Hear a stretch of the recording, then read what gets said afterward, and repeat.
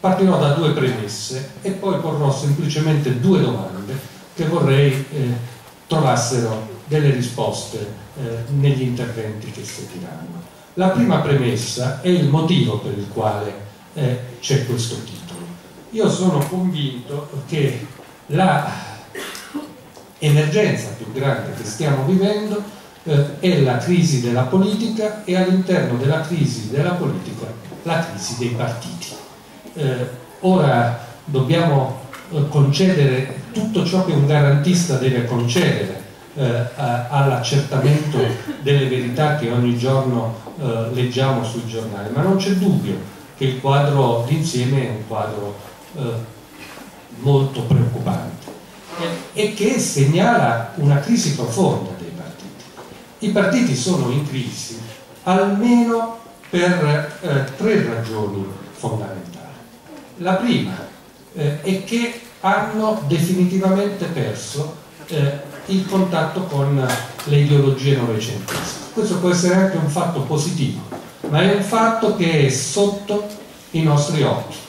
Di eh, quelle ideologie non rimangono ai partiti più nemmeno i residui paretiani, eh, non c'è più nemmeno qualcosa, nemmeno più una sensibilità. Eh, noi lo comprendiamo se guardiamo un attimo allo stato in cui si trovano eh, la socialdemocrazia e il popolarismo europeo. Sono tutti all'interno dell'orizzonte della crisi, anche se spesso vengono evocati come possibili soluzioni, ma in realtà sappiamo che non lo sono. Se guardiamo al dibattito che si è svolto nel tempo della crisi ci rendiamo conto che sia la famiglia popolare sia la famiglia socialdemocratica è stata attraversata da conflitti trasversali che hanno portato spesso i principali leader popolari ad essere i principali avversari di governi nazionali che erano governati da esponenti che facevano parte della loro stessa famiglia. I riferimenti a Merkel, Sarkozy e Berlusconi sono assolutamente voluti. Il secondo problema, la crisi ha una tale dimensione, eh, verrà sicuramente ricordata come la crisi economica più profonda dell'Evo contemporaneo, al cospetto della quale quella del 29 impallidisce, che la risorsa carismatica che alcuni partiti avevano non ha più il valore di prima, perché è evidente che di fronte a questa crisi nessuna personalità, nemmeno la più forte, nemmeno la più carismatica, può da sola pensare di andare oltre, di interpretare quello che è la metafora del del, del carisma, Mosè che ti porta oltre le acque, la metafora weberiana del carisma. La terza ragione è una ragione più prosaica, ma che ha un, un suo profondo significato.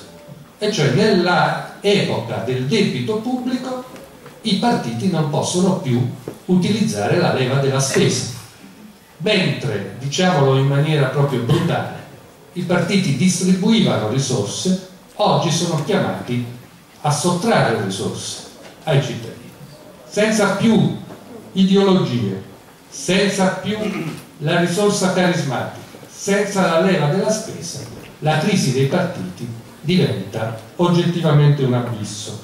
E io credo che di fronte a questa crisi ci sono due risposte illusorie e una strada obbligata.